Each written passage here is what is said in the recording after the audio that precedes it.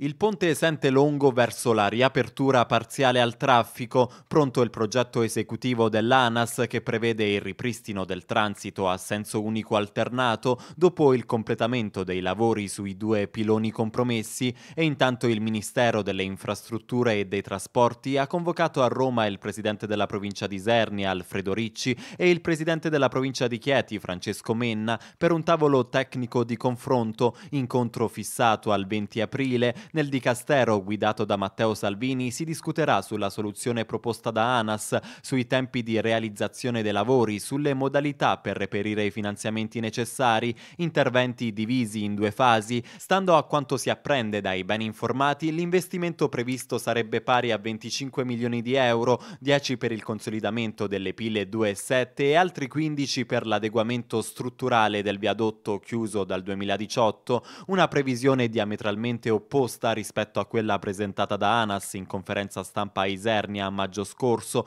In quell'occasione i tecnici avevano dichiarato che per riaprire il ponte sarebbe stato necessario un intervento sull'intera struttura dal valore di circa 50 milioni di euro. Maggiori conferme arriveranno sicuramente dal tavolo convocato a Roma, ma intanto i cittadini si augurano che questo possa essere davvero il punto di svolta, la prima pietra verso la riapertura di un'opera di collegamento fondamentale per il tessuto socio-economico territori dell'Alto Molise e dell'Alto Vastese.